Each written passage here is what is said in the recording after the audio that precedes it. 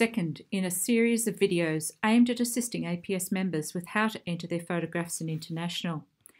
In this tutorial, I will cover why images entered into salons with FIAP patronage must have a title, how to title your photo, and the issues with problematic titles. Titling your photos may seem like a trivial topic, but it's actually one of the most important things to get right if you are entering international exhibitions. Before we start, I would like you to bookmark this website as much of the information I'm about to discuss can be found here.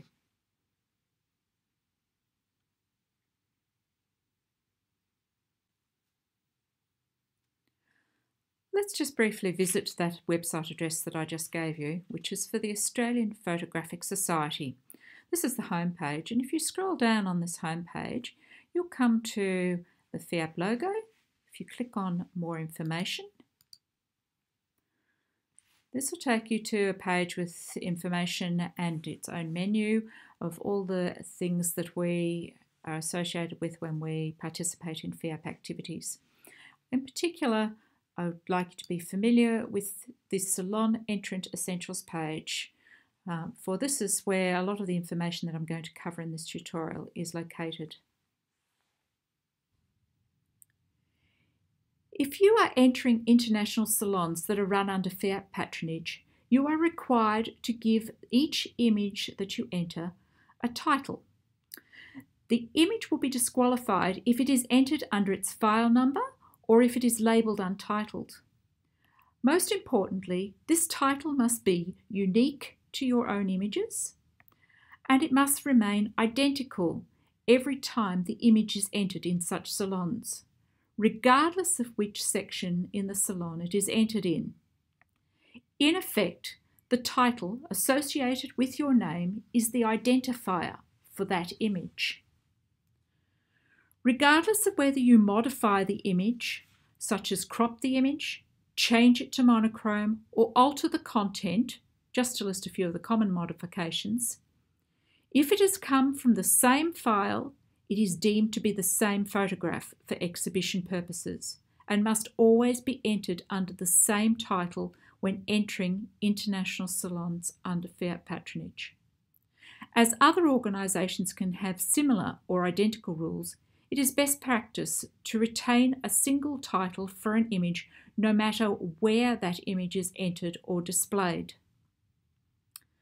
There are two major reasons why rules require that an image must only be known by one title. Firstly, record keeping.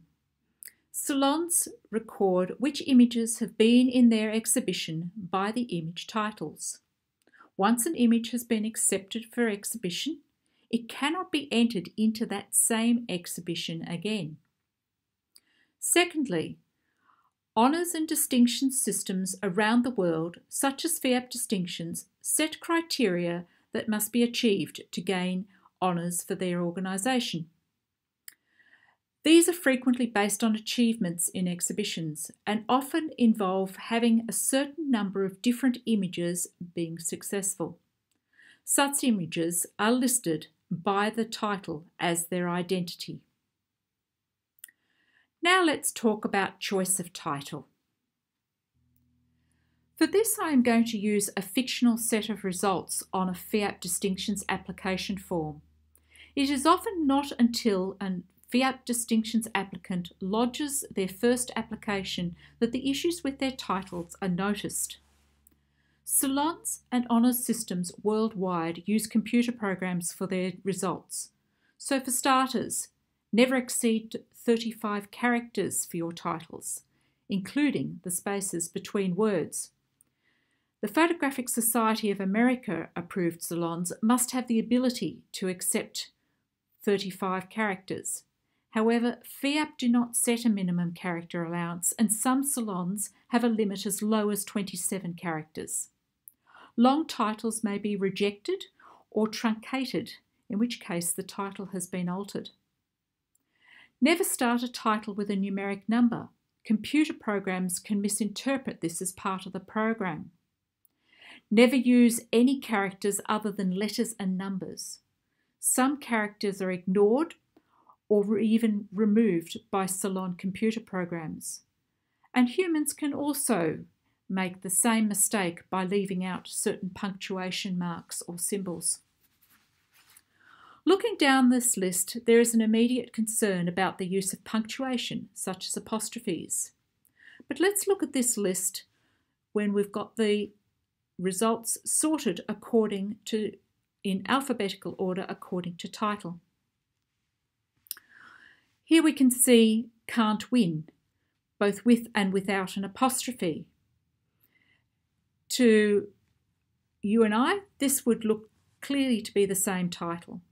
But when a computer program looks at this, it is going to see it differently. This whole set of letters beyond the apostrophe are moved one space to the right, and this title will be counted separately by a computer. Sometimes that such a, an omission could be made by the entrant, or it could have indeed been removed by the Salon computer software. If the apostrophe is not there in the first place, you can't have that problem arise.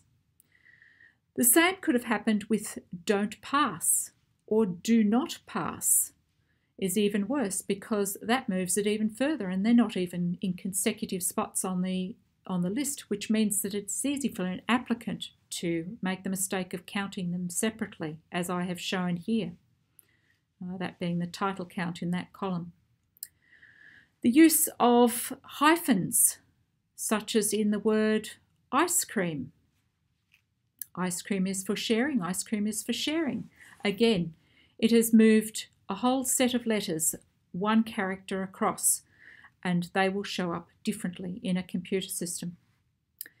In the case of FIAP, the distinctions applications are all checked by computer software against the results in the FIAP database. So every result on an application must match the database. So you cannot simply amend titles on an application to make them all the same. Avoid titles starting with the, a, or an. Let's look at the title Last Man Standing.